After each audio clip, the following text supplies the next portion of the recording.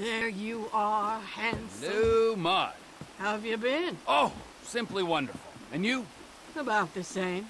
Somewhere stuck between joyful and peachy.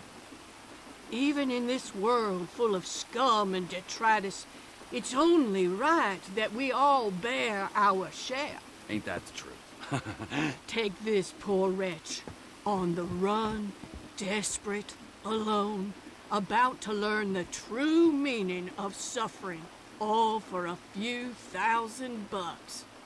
Think you can find him for me?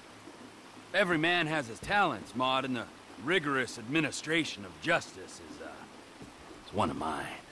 That's why I love you, Trevor. I'll send you his file.